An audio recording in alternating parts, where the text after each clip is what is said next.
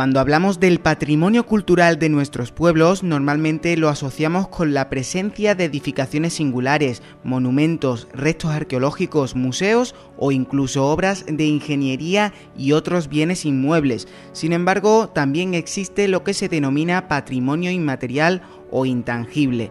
En él se incluyen fiestas y rituales sociales, manifestaciones literarias o musicales, elementos culinarios singulares, danzas, teatro y un larguísimo etcétera.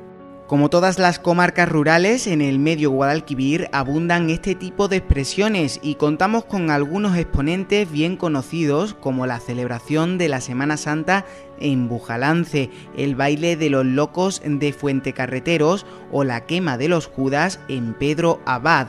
Sin embargo, existe otro grupo de manifestaciones del patrimonio inmaterial no tan conocidas y que se encuentran en peligro de desaparecer. Nos referimos a antiguos oficios y saberes, técnicas artesanales tradicionales, historias, leyendas y raíces de los pueblos que, transmitidos de generación en generación durante años, ahora se ven enfrentados a la ruptura de esa cadena por la falta de interés de las nuevas generaciones. Frente a esta problemática, el Grupo de Desarrollo Rural del Medio Guadalquivir presenta este proyecto de intercambio intergeneracional con el que se quiere devolver a estos elementos culturales el valor social y patrimonial que merecen. Desde el Grupo de Desarrollo Rural del Medio Guadalquivir hemos considerado prioritario preservar ese acervo cultural, esa carga de tradición que la artesanía supone para nuestro territorio y así lo hemos plasmado en el plan estratégico que elaboramos para el periodo 2007-2013. Actividades como la cerámica, la forja, el cuero, la cestería, la sillería de Enea o los productos típicos eh, de pastelería o de alimentación en general deben de asegurar su persistencia y mediante la aparición de eh, nuevos artesanos. Para ello se hace fundamental mejorar la percepción social que la población tiene de la artesanía y muy especialmente entre la población más joven. Eh, por estos motivos hemos puesto en marcha la iniciativa que hemos denominado Intercambio Intergeneracional del Medio Guadalquivir, con la que pretendemos acercar estos oficios, estas tradiciones artesanales a la población más joven, que son quienes, en definitiva, tienen que asegurar estos oficios y su continuidad. Los objetivos específicos que se persiguen con esta iniciativa son crear espacios de encuentro intergeneracional para el debate y transmisión de conocimientos relativos al patrimonio inmaterial, fomentar la participación de los jóvenes de la comarca en la conservación de oficios y saberes en riesgo de desaparición y registrar, documentar y difundir los valores menos conocidos del patrimonio inmaterial de los pueblos de la comarca del Medio Guadalquivir. Para alcanzar estos objetivos, el Grupo de Desarrollo Rural ha diseñado una metodología de trabajo con los colectivos a los que va dirigido este proyecto, fundamentalmente jóvenes con edades comprendidas entre los 14 y los 19 años, procedentes de centros de educación secundaria, bachillerato y ciclos formativos de grado medio de la comarca. La actividad central del programa se ha desarrollado durante el mes de mayo de 2011 y ha consistido en la realización de encuentros de intercambio intergeneracional. En estos encuentros las personas mayores comparten sus conocimientos y se convierten en transmisores de cultura tradicional, mientras que los jóvenes participantes se convierten en receptores de esa información. Se han realizado actividades de intercambio intergeneracional en cuatro de los municipios que componen este territorio, en concreto en Bujalance, en Villa del Río, en Posadas y en Palma del Río. En estos encuentros hemos reunido a personas mayores, conocedoras de algún oficio tradicional, con estudiantes de la localidad. La intención ha sido generar un ambiente relajado que invitara a intercambiar opiniones, eh, experiencias entre los participantes. En definitiva, se trata de estimular la curiosidad y el interés de los jóvenes por la cultura tradicional de su localidad y que la sientan como algo suyo y como algo propio. El 18 de mayo tuvo lugar el primero de los encuentros de intercambio intergeneracional celebrado en la Casa de la Juventud de Villa del Río. En esta ocasión participaron estudiantes de cuarto de ESO procedentes del Instituto Virgen de la Estrella y dos artesanos villarenses, Carlos González y Manoli Moyano. Carlos González, auténtico maestro en la elaboración de trabajos con fibras vegetales naturales, aprendió ese arte cuando era un niño y observando cómo lo hacían los mayores. Que preguntan por ahí, Carlos, que, con cuántos años aprendió usted a hacer esto. Pues, ni me acuerdo yo ya.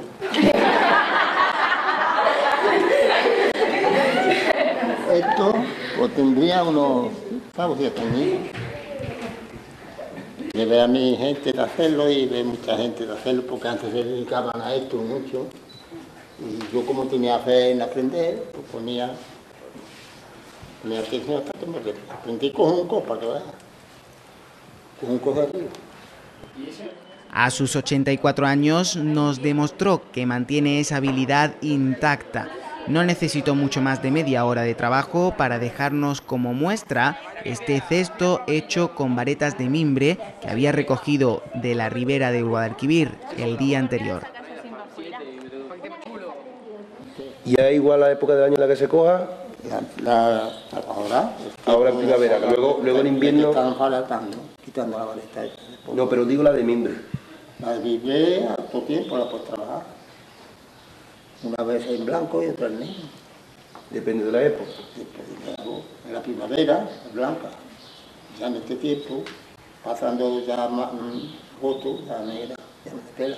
¿Y eso se nota en el color, por ejemplo, de, de la canasta? Cuando, si usted, por ejemplo, de una canasta sabe si la vareta se ha cogido en primavera o en invierno. Por el color, ¿no?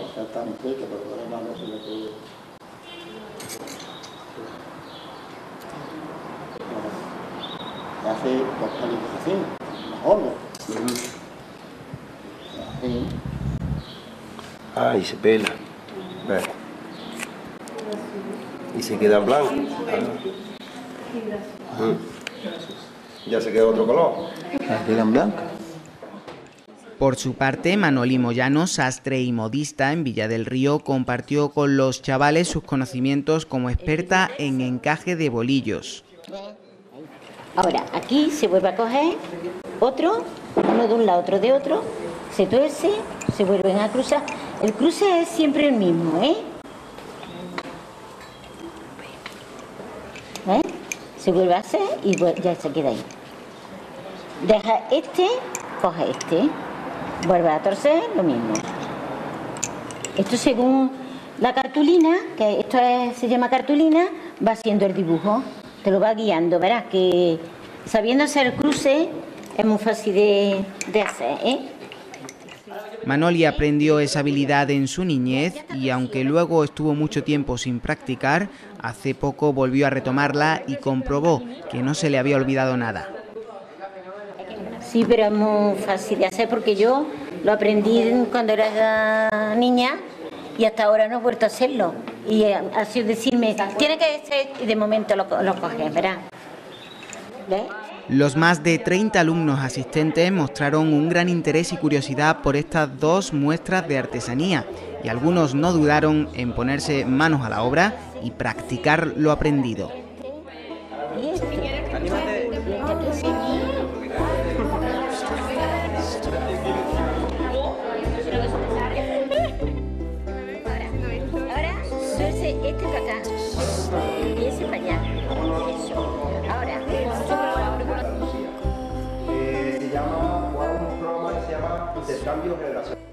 Un día después de la actividad de Villa del Río, el 19 de mayo, estudiantes de una clase de ESO de las Escuelas Profesionales Sagrada Familia de Bujalance presenciaron una curiosa muestra de artesanía a cargo de Pedro Muñoz. Pedro trabaja con todo tipo de fibras vegetales, pero en lo que de verdad se ha especializado es en hacer muebles de mimbre, estanterías, sillas, mesas, cabeceros de cama, sillones, espejos, taburetes o mecedoras forman parte de su catálogo. Además, también ha impartido en la localidad varios cursos de formación en esta materia. Yo ya tenía el oficio con 14 años Entonces, más se hace del oficio, más se aprende. La fabricación de este tipo de muebles artesanales es ciertamente laboriosa y se requiere de tiempo y paciencia. Para hacer estos muebles, pues el material hay que cogerlo, mojarlo, moldearlo en cercha, tejerlo y entonces se hace lo que queráis. En el tiempo en el que pasó con los chavales, Pedro les enseñó el modelo de silla en el que estaba trabajando y realizó una demostración de cómo trenzar el adorno de una de las esquinas.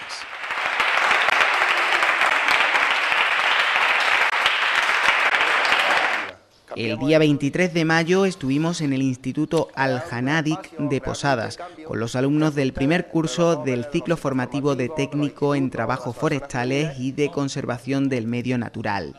Manuel Rodríguez Sánchez tiene 70 años y es apicultor, oficio que aprendió con apenas 12 años. Explicó a los participantes el funcionamiento de una colmena, la forma en la que se produce la miel y los distintos tipos de miel que se pueden conseguir. Para ello se apoyó en un panel de trabajo como muestra de una de sus colmenas. Manuel terminó comentando algunos de los problemas a los que se enfrenta esta actividad tradicional y animando a los chavales a iniciarse en su práctica. Problemas de la apicultura, por ejemplo, sería la barroa. Uno, la barroa es un ácaro de la familia de la garrapata, pero del tamaño de una abeja que aquí, porque no hay, no se verían también. Lo que pasa. Y está dando bastantes problemas. Pero ahora, después de ese, es un problema que está dando, es el C de este síndrome de despoblamiento de colmenas. Eso no sabe nadie, eso los técnicos no saben nada más que decir, los técnicos, los investigadores, esto es mundial, esto no es de aquí de eso, pero nadie sabe o nadie ha sido capaz todavía de decir de esto es. Esto se va despoblando y se va despoblando, despoblando y se queda la abeja en nada. Se quedan con unos cuadros de arriba abajo de miel, que no es por falta de alimentación. Bueno, los tratamientos agrícolas todavía, parece ser menos, pero todavía están haciendo daño en la agricultura. Los pájaros, los robos. El robo es otro problema. Dicen, ¿quién se lleva esto?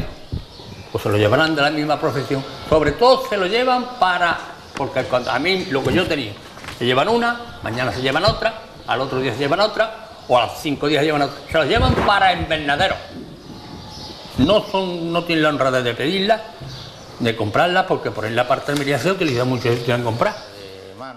A continuación, Antonio Fernández Anguita hizo una demostración práctica de cestería con varas de olivo. A sus 71 años, Antonio está ya retirado y mantiene esta actividad como un hobby que le encanta poder transmitir a los jóvenes. No en vano, siempre está dispuesto a participar en talleres, charlas, cursos o cualquier iniciativa que pueda servir para que estos conocimientos no se pierdan. También nos habló de cómo en la actualidad, y según su propia experiencia, la cestería artesanal se empieza a revalorizar poco a poco, pagándose buenos precios por sus productos. Esto se le hace un agujero aquí, no la tengo terminada, se le hace un agujero aquí se le mete el cable con una lámpara pequeña ahí dentro, la pone en la mesita de noche, la enchufa y ya tiene eh, un objeto de artesanal.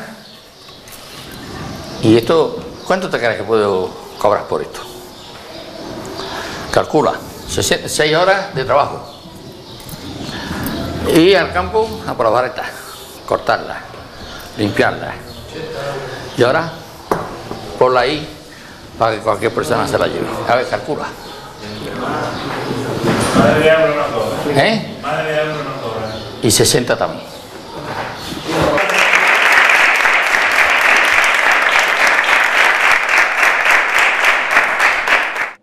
La última de las actividades de intercambio intergeneracional tuvo lugar en Palma del Río el 30 de mayo con estudiantes de tercero de ESO del IES Antonio Gala.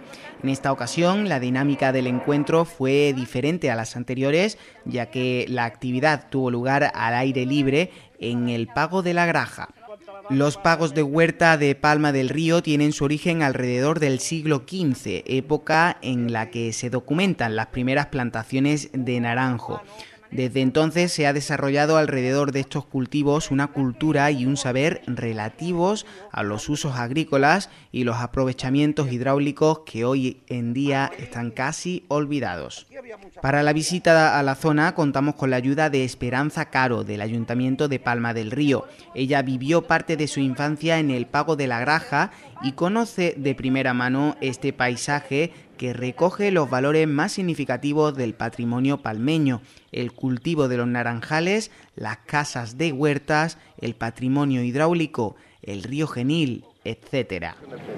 Buenas tardes, como ha dicho Juan, me llamo Esperanza y estamos aquí en el pago de la huerta. La palabra pago puede sonar un poco desconocida. La palabra pago, mm, la traducción sería un hábitat rural que se ha desarrollado en torno al río Genil con una explotación basada en el monocultivo de la naranja. Ese sería técnicamente pago. Mariano y Antonio recordaron a los chavales cómo era la vida en estos núcleos hace 50 años, cuando las familias se autoabastecían de casi todo lo necesario con el trabajo diario en la huerta y el cuidado del ganado. Aquí no había luz, había luz pero de candil, de petróleo, de carburo, no había luz eléctrica. No había agua potable tampoco. Había que ir a la fuente, uno a mano, otro con una burra o con un burro, le echaba la pared o la agua era y a por cuatro cántaros de agua. Aquí había como en de pasa mangante, mangante, personas que a la mejor uno lo hacían por necesidad y otros lo hacían por, por. En los pagos de huerta, a pesar de la modernización de los últimos años, aún quedan vestigios de las costumbres y modos de vida pasados, como comprobamos en las casas de huertas que quedan en pie. Los estudiantes del Antonio Gala tuvieron la oportunidad de visitar una de ellas que conservaba la estructura original de 1876. En la actualidad, la mayor parte de estas construcciones han perdido su función original y muchas se han transformado en segundas residencias, perdiendo la tipología tradicional. Finalmente, la lluvia, que amenazaba durante toda la mañana, hizo acto de presencia y no se pudo concluir el recorrido con la visita a las plantaciones tradicionales de naranjos y el río Genil. Lo más importante de estos encuentros ha sido que han permitido que estos jóvenes entren en contacto con unos oficios y unas actividades que desconocían completamente y la verdad que el interés demostrado por ellos ha sido bastante alto. Tanto es así que por demanda de los propios jóvenes se van a organizar nuevos talleres eh, para aquellos jóvenes que han quedado con ganas de profundizar, de saber más sobre estos oficios tradicionales. También ha sido destacable conocer a través de estos encuentros cómo los propios artesanos eh, nos mostraban que estos oficios actualmente pueden ser verdaderos yacimientos de empleo de cara a los propios jóvenes y parte de estos encuentros lo hemos destinado a incentivar a los propios participantes en este sentido. Por último, no queremos que eh, esta experiencia se quede en un proyecto puntual, sino por el contrario es la intención del Grupo de Desarrollo Rural del Medio Guadalquivir que esta iniciativa de intercambio intergeneracional se traslade y se le dé continuidad a cada uno de los municipios que componen este territorio y que verdaderamente sirva para transmitir y poner en valor ese legado de conocimientos y saberes tradicionales.